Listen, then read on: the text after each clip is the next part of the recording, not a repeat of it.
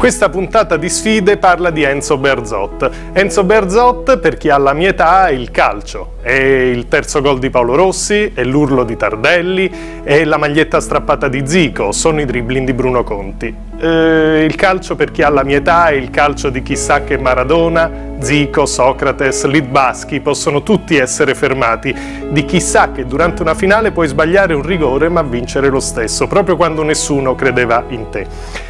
Il calcio di Enzo Berzot è anche il calcio di chi ama il calcio. Eh, non per la tecnica dei singoli giocatori, non necessariamente per la tattica complessiva di una squadra, ma perché il calcio può essere visione del mondo, può essere carattere, può essere tigna, può essere sfida.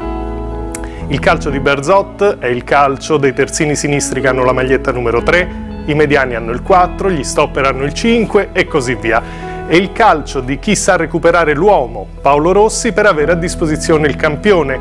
È il calcio di chi vince una finale e il giorno dopo in aereo gioca a scopone con Zoff, Causio e il presidente Pertini.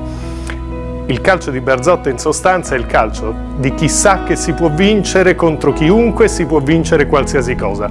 Basta credere in se stessi, nella propria squadra e in ultima analisi nei propri amici.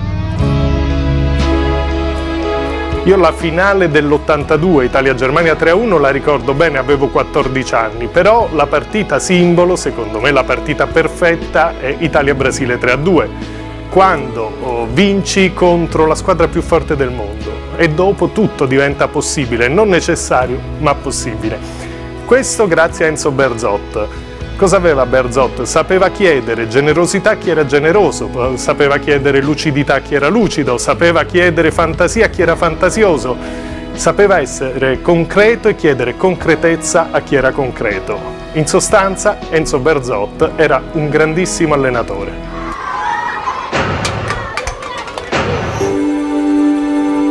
Lo chiamavano il Vecio, che aveva poco più di 30 anni, per la sua lunga carriera da calciatore per quell'aria da vecchio saggio, per il modo paterno con cui allenava i suoi ragazzi. Onesto, tenace, generoso. Questo era Enzo Bearzot.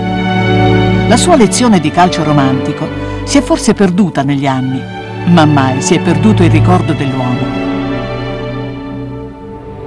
È il 21 dicembre del 2010. I campioni dell'82 i suoi ragazzi, sono tutti riuniti per l'ultimo e più triste dei saluti. Partiamo dall'uomo, eh, perché è difficile essere dei bravi maestri se non si è dei bravi uomini. È una cosa che nostra, è nostra, nessuno ci ha dato toccare e noi tutti insieme abbiamo fatto quest'ultima passeggiata insieme a lui.